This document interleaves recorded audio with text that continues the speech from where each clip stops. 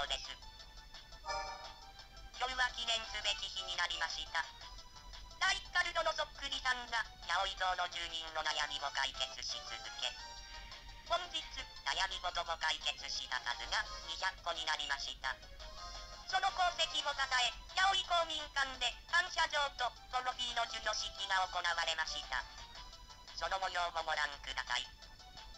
感謝状、ライカルドの悩みを200個解決しました。よって、ここにその功績をたたえ、銅のトロフィーを授与します。2016年12月18日、住人代表、なぎさ。以上、ニュース速報。なごがお伝えしました。